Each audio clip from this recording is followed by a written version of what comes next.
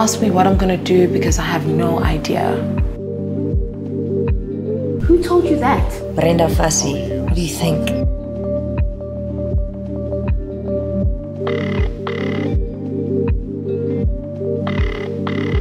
Are you high? No. I think it's time you grew up a little. Grow up. What's the worst thing that ever happened to you? Possibly this. You know, safe sex is such a joke to people until it's not. Dude, you're not serious. I just can't believe she would be so irresponsible. What's she writing? It's a thing.